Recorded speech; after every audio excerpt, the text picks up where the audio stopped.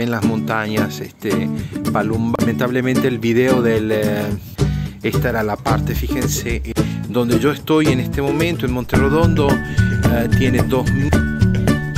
Ah, tengo que alzarla